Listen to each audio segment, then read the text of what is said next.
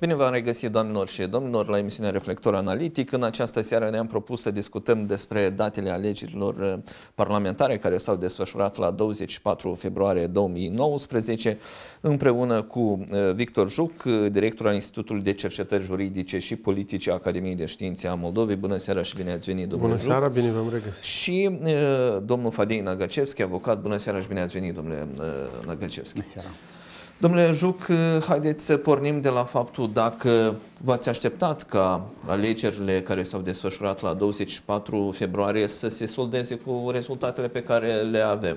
Da, vreau să subliniez că de câteva ori chiar am spus în direct la post, anumite posturi de radio TV că Partidul Socialiștilor va obține o treime, poate ceva mai mult, Partidul uh, Democrat va obține circa o treime, blocul acum va obține o pătrime, poate ceva mai mult. Cât despre Partidul Șor, aici puțin am greșit, le-am dat mai puțin în opinia mea, dar ei au beneficiat de un scor mai, mai înalt. Prin urmare, cred eu că nu a fost nimic surprinzător aceste rezultate pe care electoratul le-a dezvoltat și și-au găsit opțiune, de fapt regăsim chiar și din punct de vedere doctrinar, dacă să vorbim politologic, segmentul de stânga, segmentul de centru-stânga, segmentul de centru-dreapta. Puțin mai văduvit este segmentul de dreapta asociat cu unioniști, dar acolo a fost o situație prea mult s-au îngrămădit și nu au reușit să identifice Uh, un numitor comun. Domnule Juc, dar aceste alegeri din data de 24 au trimis la periferia politicului cel puțin două partide, ai căror lideri erau încrezuți că vor accede în Parlament. Fac referire aici la PL și PCRM. Da, desigur că um, sunt uh, învingători în acest scrutin. Aș vorbi în primul rând de Partidul Socialiștilor, care au obținut cu circa 100 de mii de mai multe sufragii decât în 2014. Uh, Partidul Democrat din Moldova a contabilizat mai mult, iarăși comparativ cu 2014, circa 80 de mii de uh, voturi. Uh, blocul acum mai mult de 30.000 de voturi comparativ cu Partidul Liberal Democrat din Moldova. Spun aceasta dat fiind că liberal-democrații au eliberat, fiind în reflux, eșchierul de centru-dreapta, iar blocul acum la la valorificat. Desigur că avem și perdanți. La acest capitol aș vorbi în primul rând despre Partidul Comuniștilor, care a pierdut circa 230.000 de sufragii comparativ cu 2014 și Partidul Liberal a pierdut circa 100.000 de sufragii. Dar eu cred că ar trebui să le mai acordăm o șansă, deși una mică, iluzorie, să vedem care va fi comportamentul lor la alegerile locale, care vor avea loc în vara anului anului acesta. Și atunci vom putea spune cu certitudine dacă au fost trecuți la istorie sau nu. În plus, aș mai vorbi la capitolul câștigător, desigur, Partidul Șor, iar la capitolul perdanță, partidul nostru al lui Renato Usatăi, dar acestea sunt partide de tip nou, partide asistemice și foarte mult depinde de liderul lor. Domnule Nagacevski, vreau să vorbim cu dumneavoastră despre dimensiunea juridică oarecum a acestor alegeri parlamentare care s-au desfășurat, pentru că pozițiile raportate la acest exercițiu democratic sunt împărțite. Unii zic că nu s-au constatat abatere atât de grave, alții, din contra, zic că s-au falsificat și anumite voturi. Poziția dumneavoastră în calitate de avocat, care este? Și după mine, respectivul scrutin electoral s-a petrecut în afara oricăror reguli de joc. Reguli de joc nu au existat, cu toate că noi avem un cod electoral, spre regret, în cadrul campaniei electorale, aceste reguli de joc așa și nu au fost respectate. În ziua alegerilor, de asemenea, regulile de joc nu au fost respectate. Dar noi putem să vorbim despre faptul că a fost transparență și joc democratic, dacă nu ținem cont de coruperea legătorilor, de resursul administrativ, dacă nu ținem cont de transportare organizată la secțiile de votare, despre agitație electorale cu anumite banere pe care nu sunt indicate datele exacte din ce conturi sunt achitate aceste banere electorale. Spre exemplu, Partidul Șor la toate secțiile de votare avea câte un banner. Banerele respective nu este clar din ce sursă au fost făcute, ori pe dânsă nu este indicat că este achitat din fond electoral. Transportul organizat, iarăși, pe dimensiunea Transnistria, două secții de votare. Transportul este constatat că există transport organizat. Nu este clar cine a făcut respectivul transport organizat, dar este evident că careva concurent electoral a făcut și sumele respective, cel puțin pentru combustibil, pentru arenda respectivelor transporturi, cu siguranță nu vor fi trecute prin fond electoral, ci își presupune că ele sunt finanțate din fonduri nedeclarate. În același timp, apare o situație extrem de periculoasă, neclară pentru mine. Spre exemplu, pe teritoriul Republicii Moldova, în genere, la scrutin au participat 1.453.000 de alegători. Da. Pentru circunscripția proporțională, să spunem, pentru listele de partid, au fost declarate valabile doar 1.416.000. Diferența este de circa 45.000 de persoane, de voturi au fost declarate nevalabile. Pentru circumscripțiile uninominale sunt declarate doar 1.306.000 voturi valabile. Deci 150.000 de buletine de vot sunt declarate nevalabile, ce aici pentru mine trezește suspiciuni serioase. Am ridicat chiar din anul 2016 la alegerile prezidențiale. Câte voturi au fost declarate nevalabile? E vorba de cifra de 13.000 de voturi.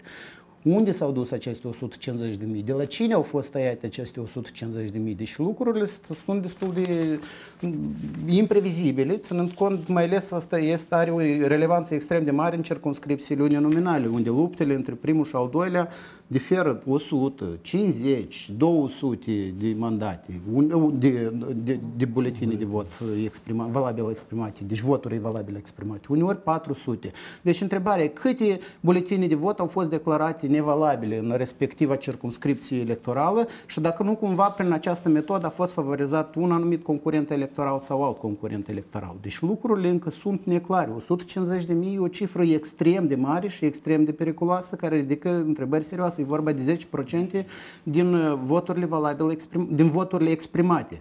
Deci noi nu avem claritate de ce ele au fost declarate nevalabile. De altfel am citit anumite rapoarte de monitorizare, de asemenea și experții ODIRT își pun întrebarea cu privire la anumite buletine de vot care au fost declarate nevalabile și de ce ele au fost declarate nevalabile și dacă nu cumva urma ca secția de votare, biroul, membrii biroului secției de votare să emită hotărâri de declarare a nevalabilității respectivelor buletine de vot pentru a fi previzibilitate și transparență totală în ceea ce privește modul de exercitare a dreptului la vot și dacă nu cumva prin asta s-a furat un vot al unui cetățean și eventual și a unui concurent electoral. De aceea lucrurile încă sunt în area imprevizibilității. Eu nu știu care o să fie și poziția Curții Constituționale de la etapa confirmării respectivelor alegeri.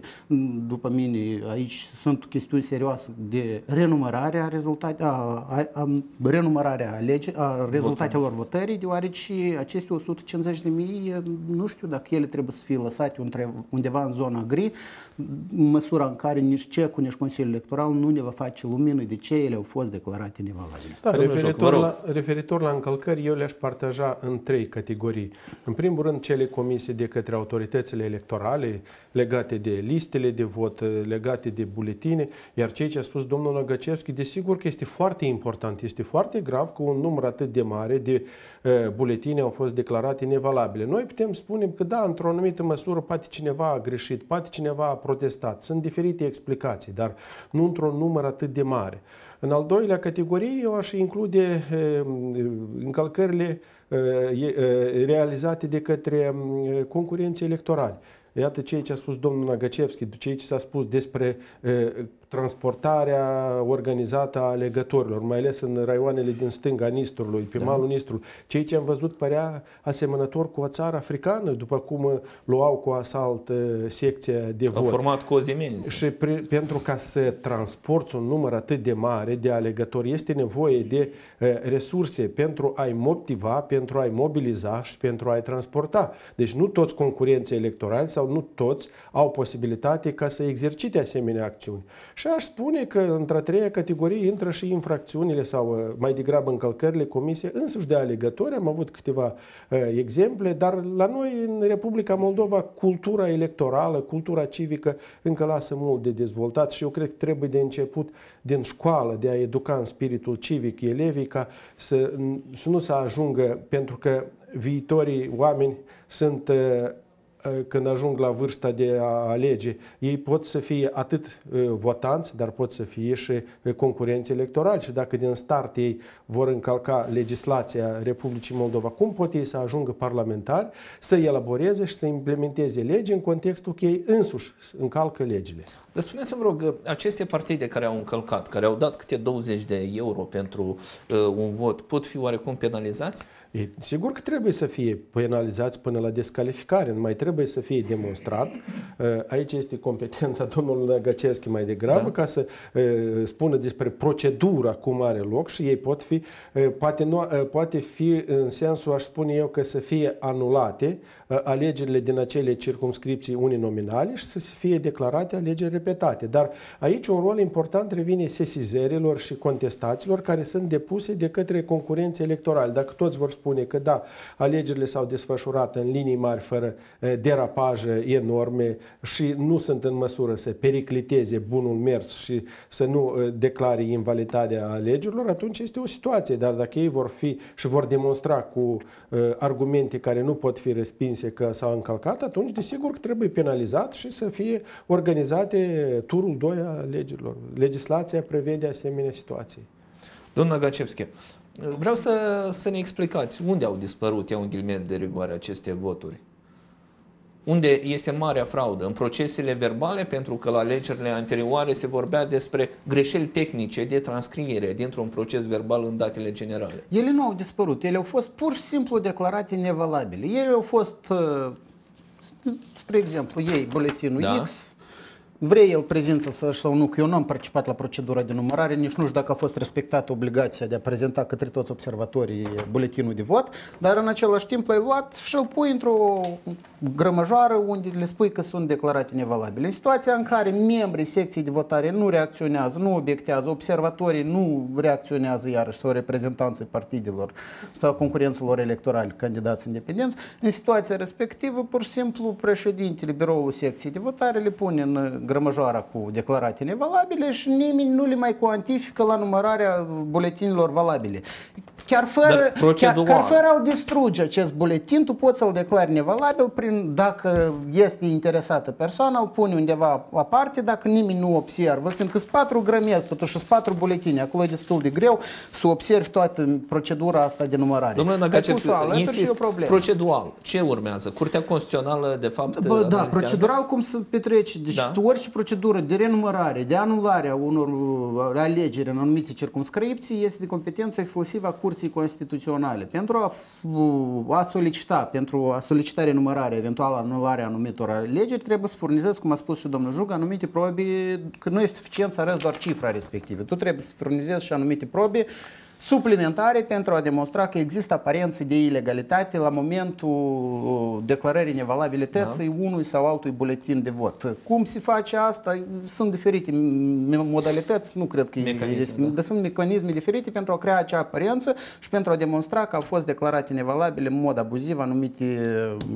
da, Aici un rol important da, revine partidelor politice, Evident. pentru că fiecare au reprezentanți, au delegat observatori în fiecare birou ele electoral. Și, dar ce dorim noi dacă din 15 uh, concurenți electorali pe lista națională, numai 6 concurenți au reușit ca pe lista lor să figureze 50 plus 1 plus 2 uh, plus 2 persoane. Restul nu au putut să contabilizeze nici măcar uh, minimum necesar.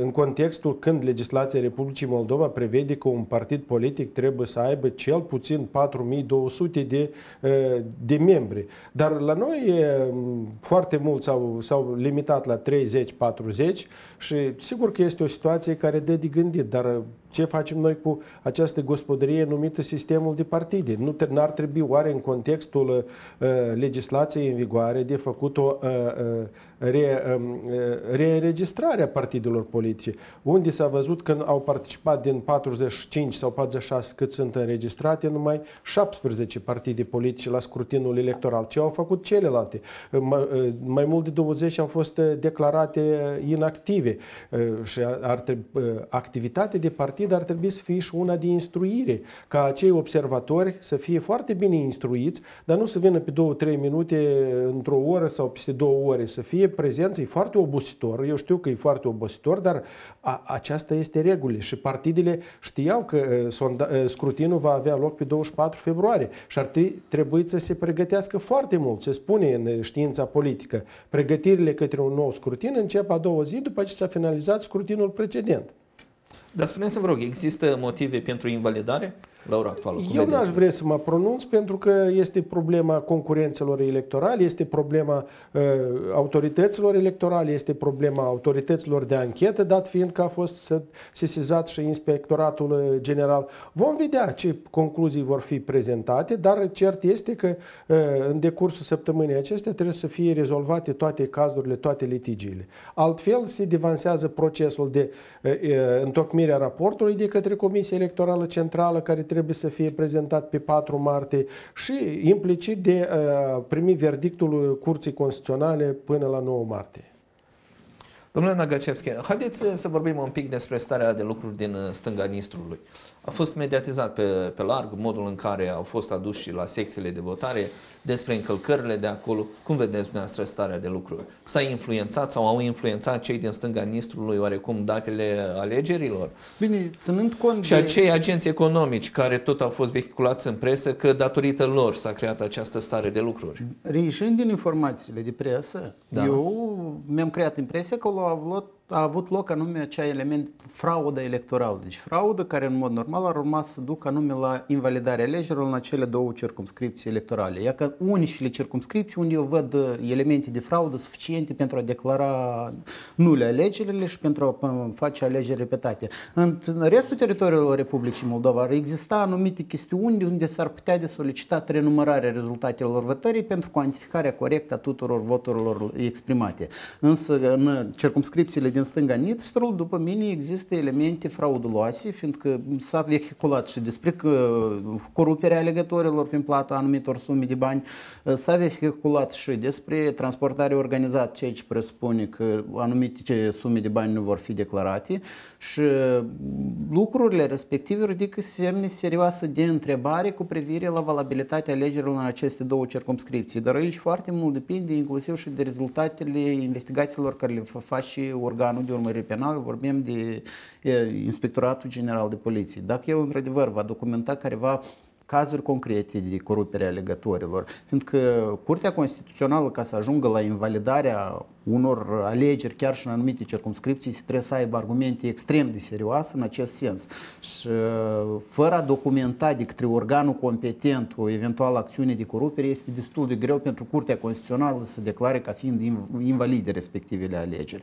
Informația de presă e destul de interesantă, însă Spuneți-vă, rog, da, se bazează ce actori pe... politici ar avea de câștigat de pe urma invalidării?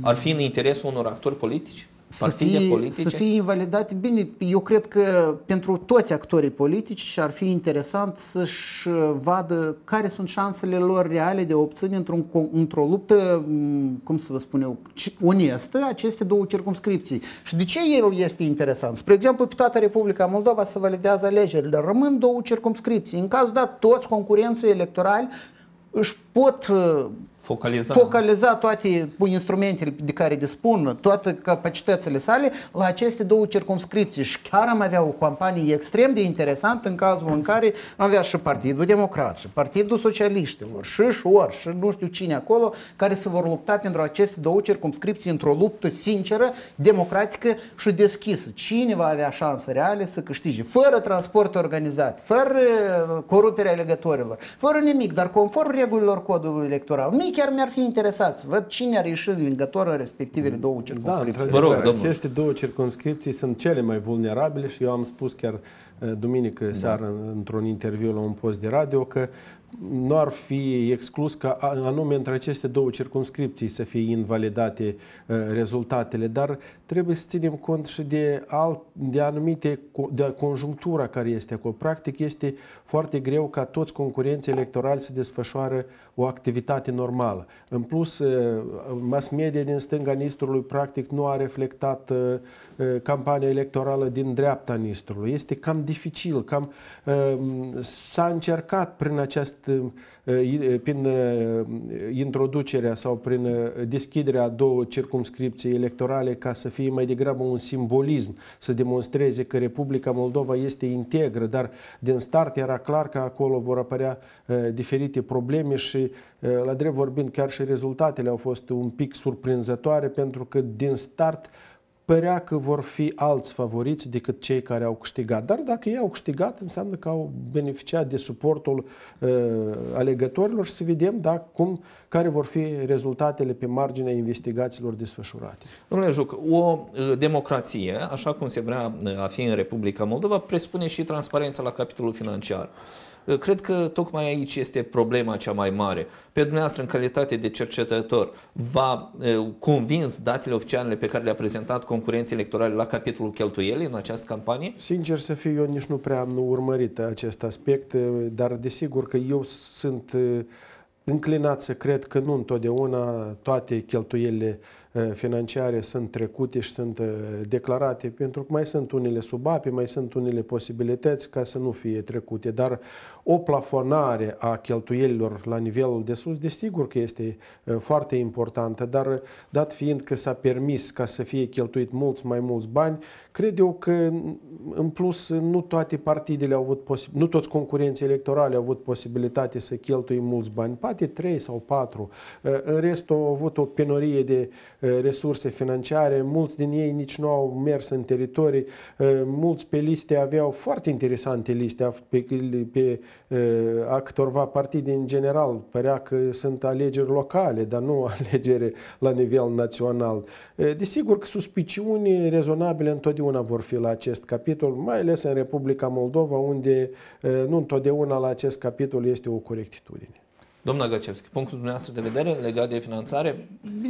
Finanțarea va fi o problemă, dar talpa lui Ahile va fi pentru Republica Moldova. După mine, în genere, plafoanele respective, toate chestiile astea s-au făcut pentru a favoriza, în genere, partidele mici, deoarece partidele mici sunt permanent subfinanțate și prin asta, în principiu, Uniunea Europeană la anumite etape a insistat ca noi să introducem anumite reguli stricte cu privire la finanțare.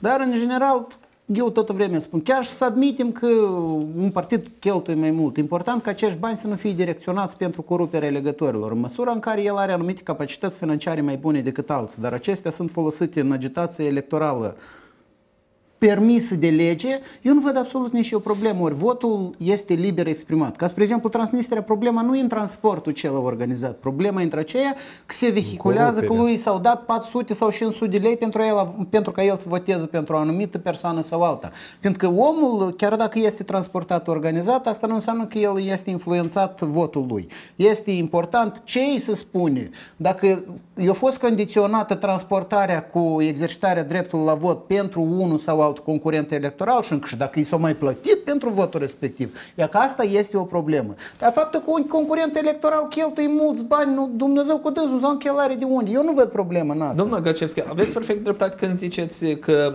e o problemă, dar până la urmă mă duce cu gândul, ca și cetățean a Republicii Moldova, decizia o iau eu în cabina de vot. Absolut. Și atunci toți acești factori externi oarecum rămân pe din afară. Bine, e așa sau nu? Republica Moldova, cum a spus și domnul Juc, noi încă nu suntem așa de bine educați în spiritul democrației. Dreptul nostru electoral noi încă nu îl exercităm așa cum ar trebui să-l exercităm conform uh, intimei convingeri. În același timp au fost utilizate anumite instrumente care iarăși creează suspiciuni rezonabile că s-au făcut cu un anumit scop. Ca, spre exemplu, aceeași Comisie Electorală Centrală a obligat uh, birourile secțiilor de votare să-și instaleze anumite camere de filmat în respectivele secții de votare. S-au vehiculat prin intermediul și a presei și prin Facebook, s-a discutat foarte mult că respectivele camere vor fi utilizate pentru a presa alegătorii și a ei, ca ei să considere că pe dânsă îi filmează cum ei și administrează dreptul său la vot.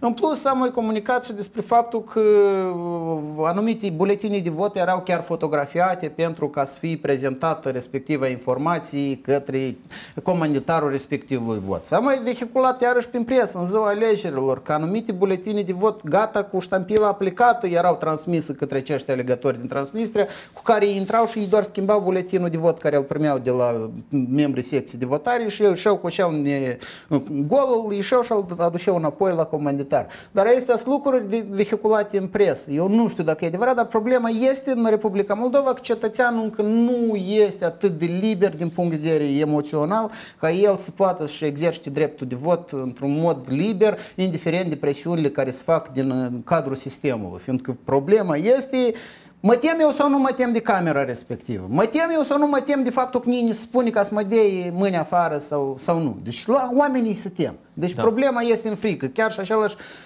nu cu noi acum, dar Igor Boțan spunea, eu îmi temperez discursul deoarece eu mă tem. Deci Am problema este, sale. este problema respectivă. Oamenii se tem. De ce se tem? Cum se tem? Mi-e da. greu să spun. Eu sunt din afara sistemului, de atâta eu nu înțeleg fricile lor atât de bine cum le au ei, deoarece eu sunt avocat și eu sunt din afara sistemului. Dar omul care e angajat într-o structură de stat, probabil există o anumită presiune asupra lui și frica de a-și pierde locul de muncă care îi garantează lui stabilitatea financiară și economică a lui și a familiei sale. Eu nu știu. Domnul Joc, spuneți-mi, vă rog, că alegerile parlamentare au fost un exercițiu ce a vizat, nu știu, cetățenii Republicii Moldova în mod uh, cert.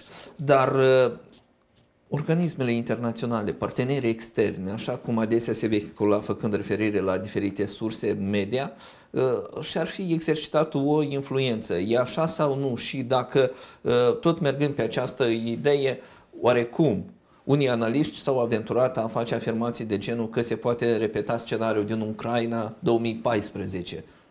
Ce aveți a spune la acest capitol?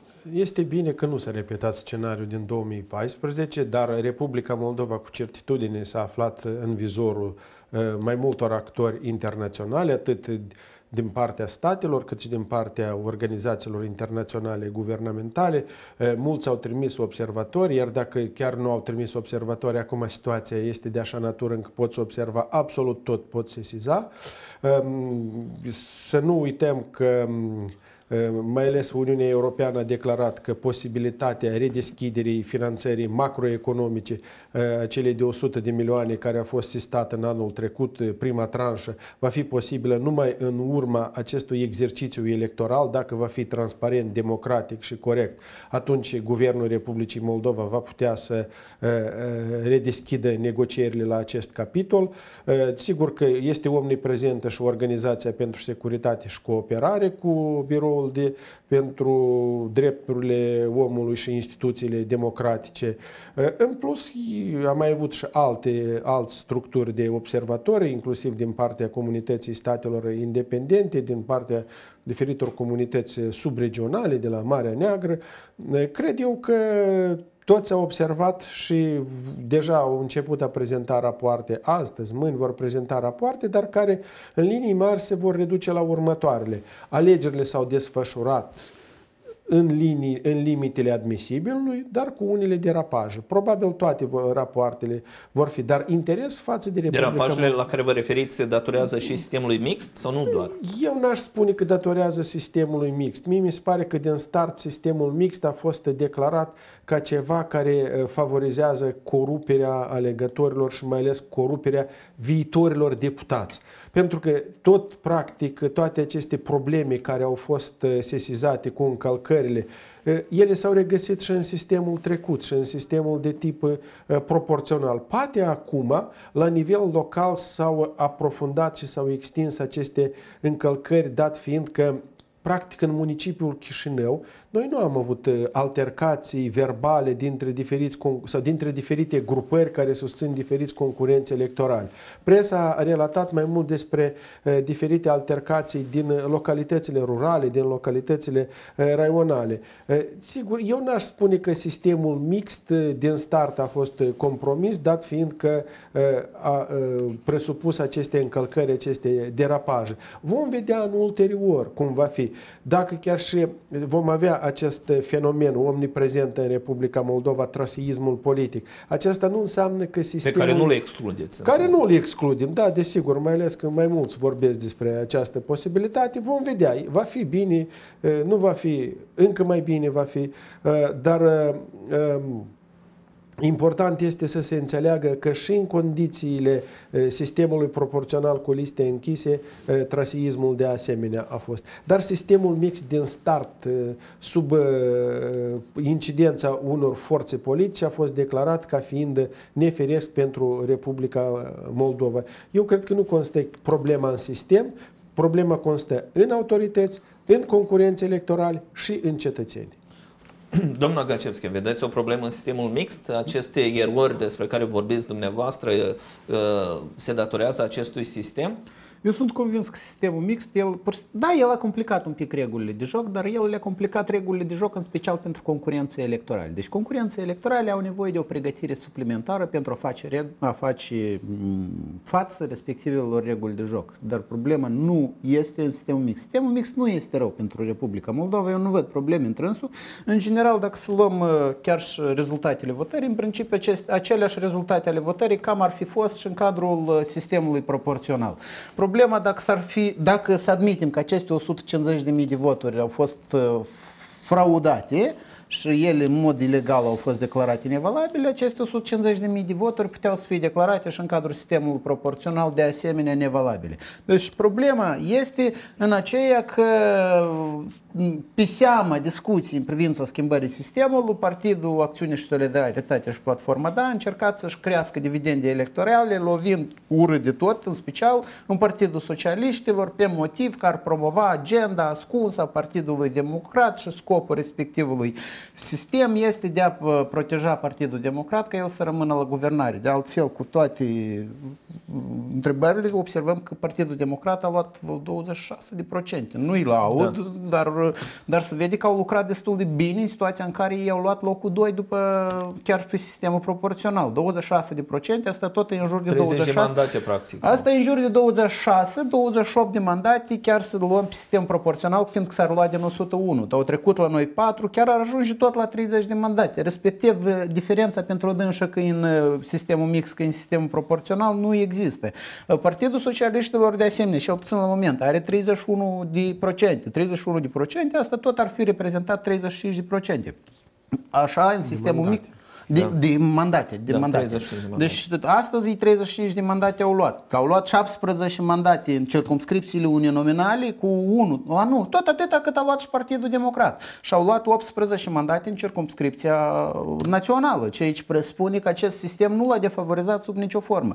Plus Partidul Acțiune și Solidaritate și Platforma Demnitate și Adevăr. Pro, pro, pro, procentele care le ofereau lor toate sondajele de opinii, cam tot atâtea voturi au obținut el dacă plusăm sistemul nominal cu sistemul proporțional. Nu s-a schimbat nimic. În schimb, noi am învățat a lucra în teritoriu. Sistemul mix ne-a obligat pe noi, partidele au fost obligate, toți concurenții electorali, să iasă în teritoriu și să lucreze mai intens în teritoriu. Pentru că înainte fiecare să bazea, unul are sigla acum, altul are sigla steluța și să uita de teritoriu. Astăzi oamenii au ieșit și au înțeles ce înseamnă a alerga de la casă la casă și de a comunica cu oamenii și aici este extrem de important. În plus, acești candidați au făcut promisiuni electorale Dar către nu, acești Nu avem siguranța că ei nu vor uita acest act de comunicare până la viitoarele alegeri. Păi iată aici vine și elementul ăsta de disciplină. Deci alegătorul având contact direct cu cetățeanul, el a comunicat, el oricum o să-și monitorizează ce s-a făcut la dânsul în teritoriu. Și eu presupun că acei deputați care au venit din circumscripțiile uninominale și care vor uita să comune și în continuare cu alegătorii,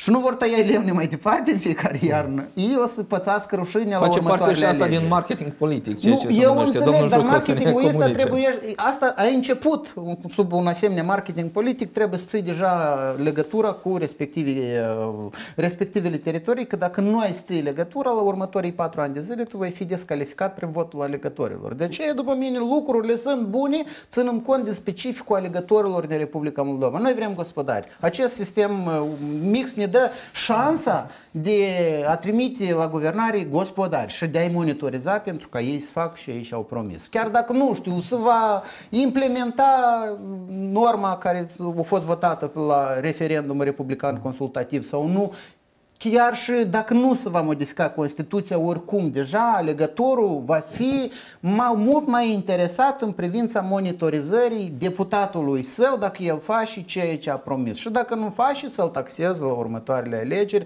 așa cum prevede democrația și Uniunea Europeană, așa cum prevede democrația și în Republica. Da, cert da, este că agenda, agenda deputaților, mai ales cei aleși pe listele, nu pe circumscripțiile uninominale, s-a extins substanțial.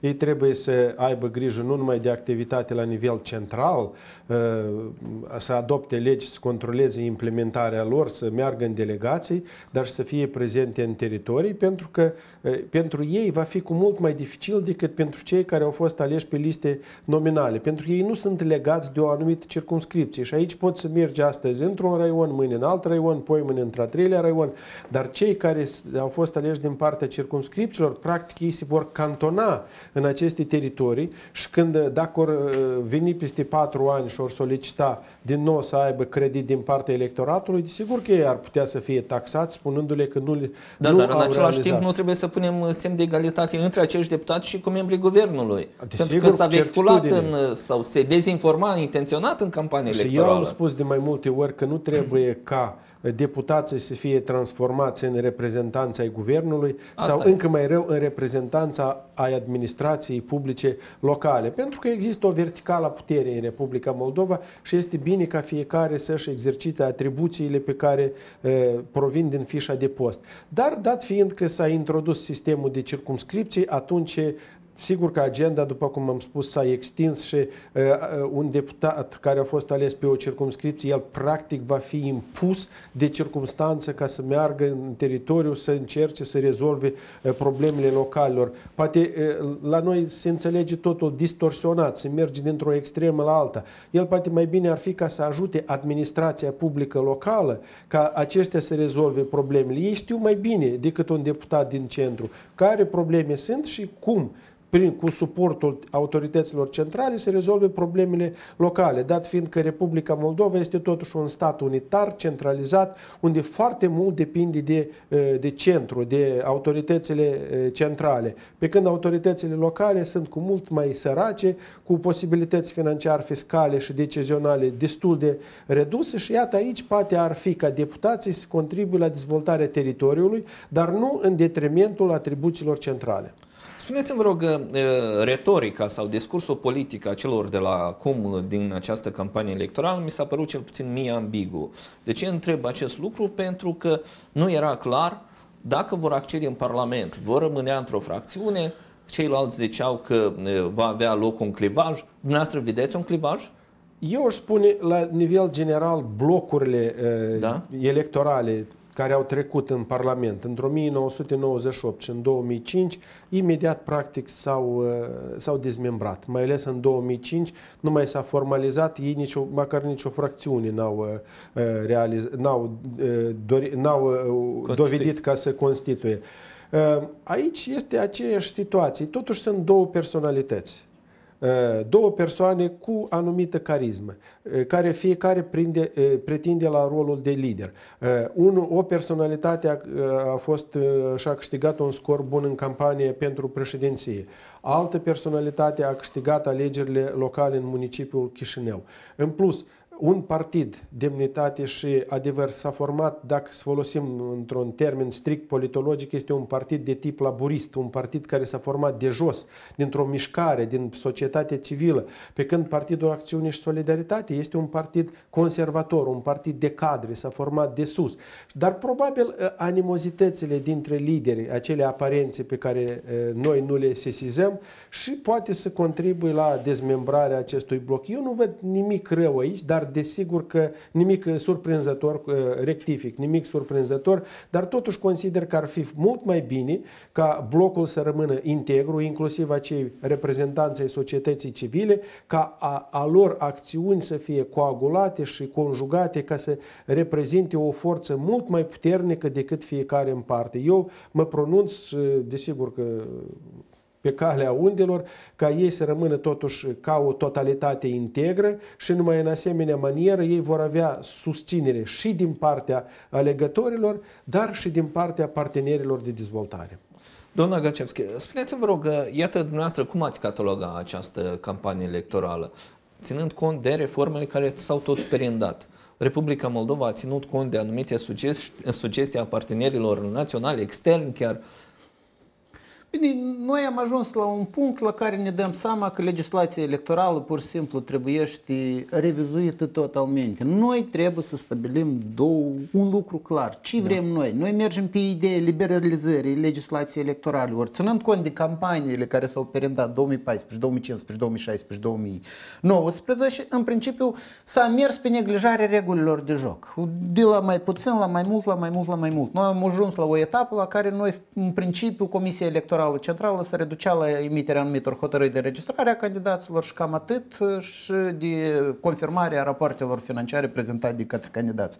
În condițiile date, noi trebuie să înțelegem. Noi rămânem pe ideea legislației stricte în situația dată, noi trebuie să implementăm anumite instrumente prin care să disciplinăm concurența electorală ca ei să respecte în tocmai regulile scrise de către și votate de către Parlamentul Republicii Moldova. În cazul în care noi admitem că totuși este posibil de făcut acest aceste acțiuni, aceste acțiuni, aceste acțiuni, cu toate că ele astăzi sunt prevăzute ca interzis în codul electoral, în cazul dat noi trebuie să renunțăm prin modificarea legislației și să facem o legislație mai relaxată în ceea ce privește campania electorală. Deci problema este simplă. Ce facem noi mai departe? Noi azi nu am avut reguli de joc. Noi avem cod electoral care stabilește interzicerea resurs administrativ, coruperea legătorilor. Avem hotărârea Curții Constituționale din 2016 cu validarea mandatului președinte unde s-a stabilit anumite obligații suplimentare pentru Comisia Electorală Centrală, pentru Parlament. Dar nimic nu s-a făcut. În contra, noi am observat în cadrul campaniei electorale cu Comisia Electorală Centrală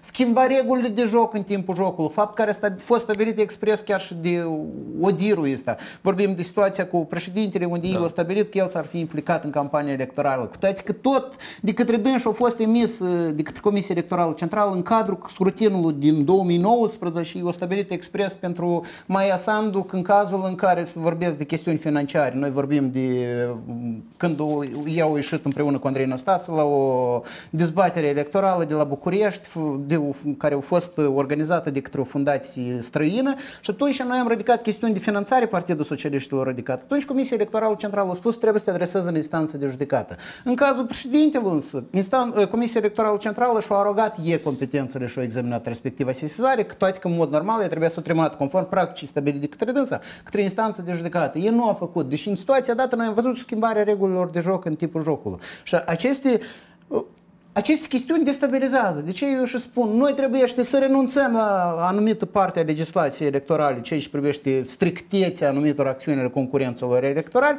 De, pentru ce? Pentru a face mai previzibil e, scorul electoral. De ce eu spun că asta ar duce la previzibilitate? Ori în situația în care se încalcă de către un concurent anumite reguli, se spune pe parcursul campaniei electorale, el nu este taxat, însă în momentul validării mandatului ar putea să fie taxat de către Curtea Constituțională. Și nu există nicio garanție Că noi nu ajungem la situația cum s-a întâmplat cu alegerile locale noi în cazul lui Andrei Năstase, deoarece exista o normă uh, aparent imprevizibilă și care a dus la naștere la o situație de invalidare a mandatului. Deci aici noi putem să ajungem datorită normelor existente astăzi în codul electoral la anumite invalidări de mandate. Până la urmă nu este clar nici cu scrutinul din circumscripția națională ce se va întâmpla dacă nu va fi dispusă chiar și renumărarea, ținând cont de iarăși cifra asta extrem de mare de 150 de mii de, de, de, de, de voturi declarate nevalabile. De aceea noi trebuie să ne decidem pe ce cale mergem. Fiindcă nu este numai decât, democrația nu presupune reguli exclusiv stricte, stricte, stricte. Democrația presupune libertatea exercitării dreptului la vot, dar asta nu... Atunci când există o conștiință. Păi, noi trebuie să lucrăm asupra conștiinței, deci ne întoarcem la elementul cheie, educația cetățeanului Republicii Moldova. Nu coruperea lui, da. dar educarea lui. Domn Juc, cuvântul cheie, educarea cetățenilor. Vreau să, pe final de emisiune, să încercăm să explicăm un fenomen al participării concetățenilor noștri la urnele de vot. Și de această dată, tinerii au au demonstrat oarecum oare, oarecare pasivitate și cei de, de o vârstă înaintată, de la 71 de ani în sus. Este un fenomen firesc pentru electoratul nostru și ținând cont și de participarea la urnele de vot, practic 51 de procente. Eu vreau să subliniez că începând din 1994, cu excepția anului 2010, întotdeauna la următorul scrutin participau tot mai puțin și mai puțin. De la 78% s-a ajuns la 49%. Este un fenomen, aș spune, semifiresc, dat fiind că poate cei peste 71 de ani, mulți nu au putut din cauza stării sănătății să și exercite dreptul de vot, dar sunt sigur că au solicitat urnele Urna mobile. Vot, da. Da. Cât despre tineret, aici situația este foarte gravă. În primul rând, foarte mulți tineri au plecat și nu sunt chiar atât de mulți care ar putea da. să-și exercite dreptul de vot. Și în al doilea rând, așa este situația că în condițiile actuale, postmoderniste, tineretul consideră că nu, nu este absolut obligator ca să-și exercite dreptul de a participa la vot. Deci participarea nu este o obligațiune, ci este un drept, iar mulți tineret nu se regăsesc cu actualele structuri de tip modernist, le-am spune, statul, partide, alegere, și în acest context, probabil că mulți nici nu au considerat necesar de a lua parte, dar această situație nu este surprinzător, dar și în alte și în alte țări, inclusiv mai dezvoltate, se atestă. Tineretul mai puțin este socializat, tineretul mai puțin este implicat, implicat în procesul decizional. Implicat în procesul de, de participare. La noi democrația participativă da. este slab dezvoltată, dar dacă nu este democrație participativă, nu putem să avem și uh, o democrație reprezentativă autentică. Domnul Gacepschi, scurt, vreau să vă întreb, ce urmează din punct de vedere legislativ? Avem două ipoteze. Pe de o parte, aceste alegeri sunt validate, avem un nou parlament. Pe de altă parte, în cazul în care nu se reușește a, a forma un nou guvern, președintele este în drept ca să dizolve parlamentul. Da, el în situația în care nu se găsește o majoritate suficientă, care să vină cu propunerea acceptată de președinte cu înaintarea candidaturii primului ministru și formarea cabinetului de ministri în situația respectivă, după două tentative, încă o gaură financiară. Președintele Republicii Moldova este obligat să dizolve Parlamentul Republicii Moldova în cazul în care nu va fi ales, nu va fi puternicit da. cabinetul de ministri și primul ministru de Domnul Gacevski, domnul Juc, eu vă mulțumesc pentru prezența în cadrul acestei emisiuni. Vă mai așteptăm și cu alte ocazii. Stimați telespectatori, în numele întregii echipe, eu vă mulțumesc pentru atenția de care dați dovadă. O seară bună! Thank you.